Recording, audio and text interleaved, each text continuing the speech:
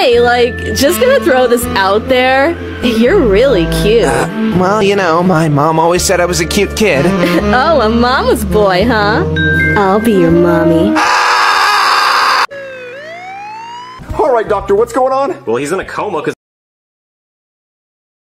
Well, is he gonna be okay? Uh. What do you mean, uh? I mean, I don't know. He could be in a coma for days or even years. Years? Yeah. Well, there's nothing you can do?